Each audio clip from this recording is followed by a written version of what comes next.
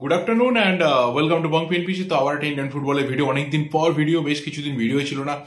আর এই ভিডিওটাতে কিন্তু খুব বেশি কিছু বলার নেই, চারটে বিষয় নিয়ে কথা বলব। প্রথম বিষয়টা হলো যে, ইন্ডিয়ার সফ কাপের জার্নি কিন্তু আজকে শুরু হচ্ছে। আর কিছুক্ষণের মধ্যে ম্যাচ বিকেল সাড়ে চারটা থেকে কিন্তু বাংলাদেশের সাথে প্রথম ম্যাচ রয়েছে। মালদ্বীপসের টিম এই মুহূর্তে রয়েছে, আমরা সবাই জানি। তো সেই রিলেটেড কোনো ডিসকাশন বা আপডেট আমি জাস্ট গত তিন চার দিনে নিয়ে আসতে পারিনি বেশ কিছু প্রবলেমসের জন্য। তো আজকে ম্যাচ রয়েছে বিকেল সাড়ে চারটেই ইউরো স্পোর্টসে তোমরা দেখতে পাবে টিভিতেও দেখতে পাবে জিও টিভিতেও চ্যানেলটা রয়েছে। অর্থাৎ ন্যাচারালি বলা যায় যে ফ্রি বা রিচার্জ যাই হোক, সেটা তোমরা করিয়ে নিতে পারো। অন্য কোথাও এই মুহূর্তে এই ম্যাচ দেখা যাবে না। মানে স্টার স্পোর্টস বা অন্য যে সমস্ত মিডিয়াগুলো আমরা ন্যাচারালি সারা বছর দেখি, বাকি ফুটবল বা অন্যান্য স্পোর্টস কভারেজ করছে, তাদের কোথাও তোমরা এই ম্যাচ দেখতে পাবে না। ইউরো স্পোর্টসেই খেলাটা দেখা যাবে। জিও টিভিতেও খেলা দেখতে পাওয়া যাবে, কোনো অসুবিধা ক্ষেত্রে নেই। ম্যাচ হয়ে গেলে রাত্রের দিকে অবশ্যই চেষ্টা করব ম্যাচের রিভিউ নিয়ে আসার ক্ষেত্রে দ্বিতীয় বিষয়টা হলো যে কালকের ডুরান্ট কাপের ফাইনাল আমার খুব ইচ্ছা করছিল দিকে একটা ভিডিও বানানো, কিন্তু ওই প্রবলেমসের জন্য বানানো হয়নি। তো বেশি কিছু তো বলার নেই। আমাদের একটা এক্সপেকটেশন ছিল হাই এক্সপেকটেশন ছিল যে ডুরান্ট কাপটা যেন আমাদের ঘরেই থাকে, কলকাতাতেই থাকে। এবং মোহামেডান স্পোর্টিংকে মোটামুটি গোটা কলকাতাবাসী প্রায় সাপোর্ট করছিল বললেই চলে।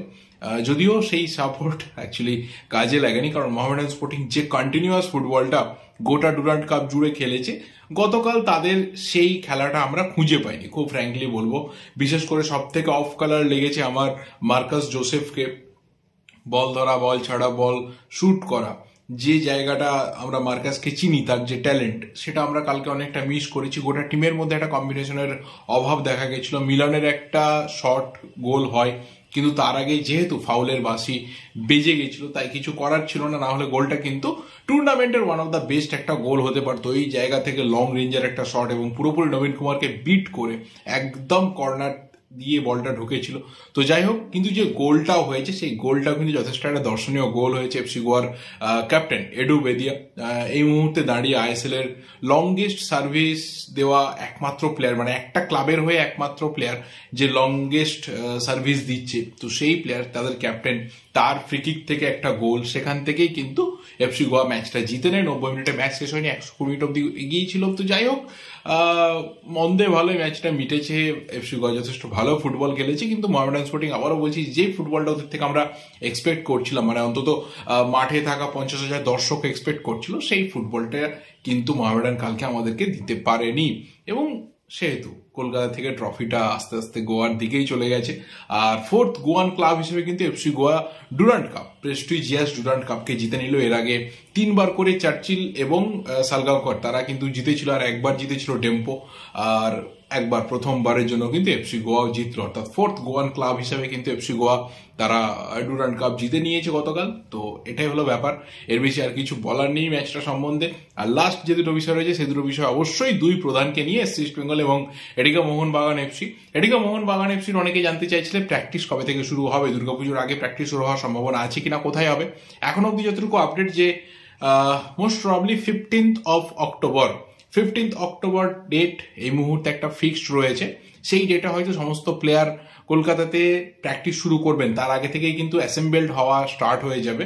ন্যাশনাল টিমের দায়িত্বে যারা রয়েছেন, তারা কিন্তু হয়তো একটু দেরিতে যোগ দিতে পারেন। কারণ ডিপেন্ড করছে যে গ্রুপ স্টেজের পর পরবর্তী নকআউট রাউন্ড এবং আমরা যদি ফাইনাল অবধি যাই, তাহলে সেই ম্যাচ লাস্ট কবে হবে, কতদিনে সেগুলো কমপ্লিট হবে, তার উপর অনেকটা ডিপেন্ড করছে। সেই সূত্রে বলা যায় যে সমস্ত ন্যাশনাল টিমের প্লেয়াররা রয়েছে, এটিকে মোহনবাগানে, তারা হয়তো ক্যাম্পে পরে যোগ দেবে। কিন্তু এখনও যতটুকু খবর, যে পনেরোই অক্টোবর কিন্তু এটিকে মোহনবাগানে ক্যাম্প স্টার্ট হয়ে যাবে এবং এখনও অব্দি যা খবর, যে কলকাতাতেই কলকাতাতেই ক্যাম্প হবে কিন্তু ডিপেন্ড করছে যে কলকাতার ওয়েদার কি থাকবে, মাঠের কন্ডিশন কি থাকবে, এই সমস্ত কিছুর ওপর এবং আরও বিভিন্ন বিষয় রয়েছে সব কিছুর ওপর ডিপেন্ড করেই কিন্তু কলকাতার ক্যাম্প হতে পারে। আদারওয়াইজ কিন্তু গোটা টিম গোয়াতে উড়ে যেতে পারে। তবে গোয়াতে যদি উড়ে যাওয়া হয়, তাহলে হয়তো এই সপ্তাহের শেষের মধ্যে একটা আপডেট পাওয়া যাবে। কারণ গোয়াতে যে প্লেয়ার যেখান থেকেই যাক না কেন, তার জন্য কিন্তু আট দিনের কোয়ারেন্টাইন সিস্টেম রয়েছে। ভ্যাকসিনেশন তো অবশ্যই করতে হবে। এটা নিয়ে কোনো সন্দেহ নেই কারোর মধ্যেই। কিন্তু ভ্যাকসিনেশন থাকলেও কিন্তু আট দিনের একটা কোয়ারেন্টাইন পিরিয়ড প্রত্যেক প্লেয়ারকে কাটাতে হবে। যেই আট দিনের কোয়ারেন্টাইন কিন্তু এই মুহূর্তে ইস্ট বেঙ্গলের প্লেয়াররা কাটাচ্ছে। অলরেডি প্রায় বেশিরভাগ প্লেয়ারই চার দিন বা আজকে এরকম পাঁচ দিন রানিং রয়েছে। আরও অনেকে রয়েছে যেমন গতকাল অরিন্দম ভট্টাচার্য রাত্রিবেলা পৌঁছেছে। আরও বেশ কিছু প্লেয়ার আস্তে আস্তে গিয়ে অ্যাসেম্বলড হচ্ছে। বিদেশিদের অনেকে জানতে চাইছো যে বিদেশিদের মধ্যে এখনও অবধি চিমা। তিনি এসে পৌঁছননি। তিনি কবে পৌঁছচ্ছেন? তো চিমার একটা সমস্যা হয়ে গেছিল। তার ভিসা নিয়ে এবং তার যে কাগজপত্রের সমস্যা, সেটা কোথাও একটা আটকে গেছিল। তো সেটা এই মুহূর্তে ক্লিয়ার হয়েছে গতকাল রাত্রিরে সেটা ক্লিয়ার হয়ে যাওয়ার পর মোটামুটি গতকাল রাত্রির থেকে আটচল্লিশ ঘণ্টা। তার মধ্যেই কিন্তু চিমার ভারতে আসাটা কনফার্ম হয়ে যাবে।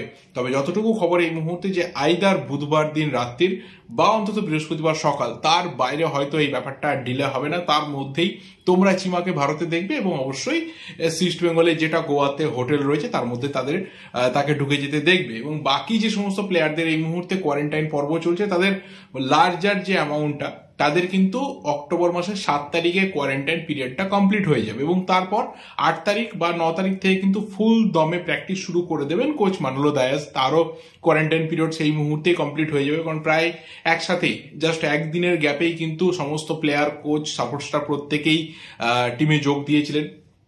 অনেকেই জানতে চেয়েছো রেনেডি সিং এখনও অবধি যোগ দেননি। কেন তো রেনেডিও একটা ব্যক্তিগত কারণে আটকে গেছে।